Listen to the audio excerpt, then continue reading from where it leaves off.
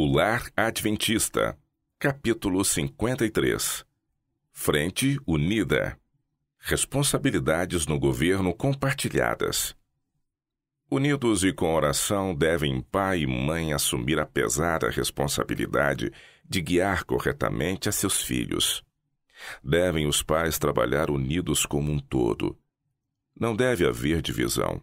Muitos pais, porém, trabalham em oposição, e os filhos são assim prejudicados pela má direção. Acontece às vezes que um dos pais é demasiado condescendente e o outro demasiado severo. Esta diferença funciona contra os bons resultados na formação do caráter dos filhos.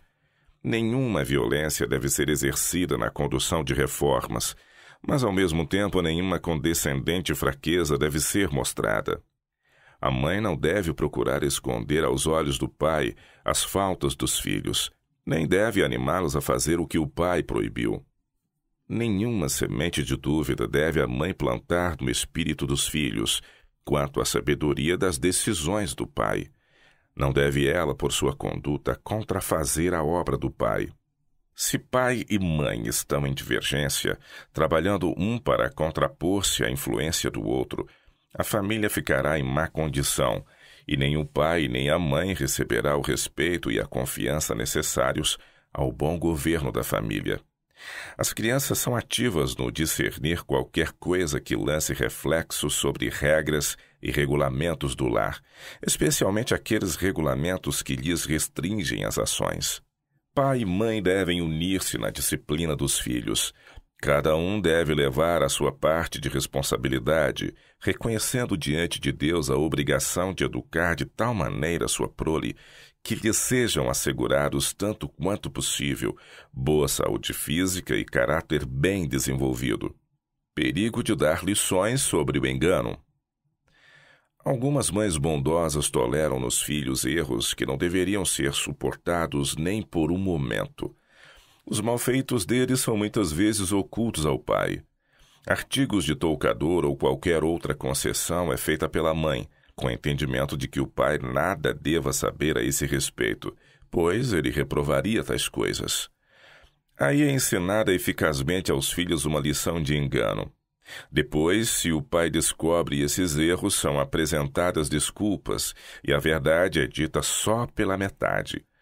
A mãe não é franca não considera como deve que o pai tem nos filhos o mesmo interesse que ela, e não deve ser mantido na ignorância dos erros ou tentações que precisam ser corrigidos neles enquanto jovens. Tem-se encoberto coisas. Os filhos conhecem a falta de união entre os pais, e isto tem seu efeito. E cedo começam a enganar, encobrir, dizer à mãe e ao pai de maneira diferente do que na verdade as coisas são.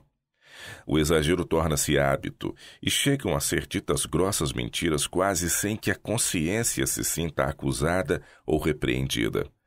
Esses erros começaram com a mãe em esconder as coisas do pai, que tem igual interesse no caráter que os filhos estão formando.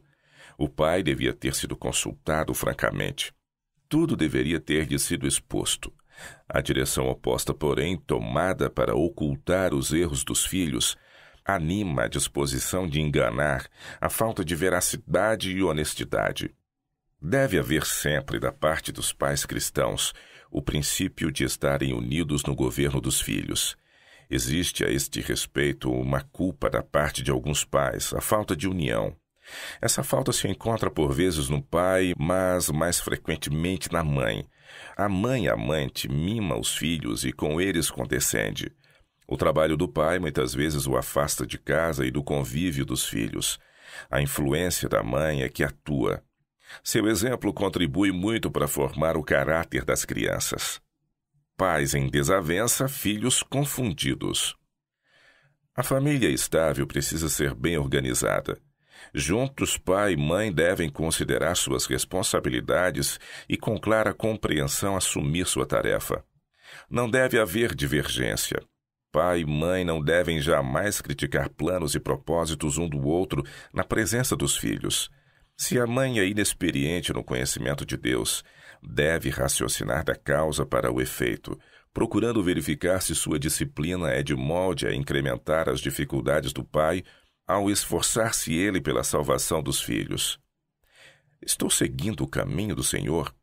Esta deve ser a principal pergunta.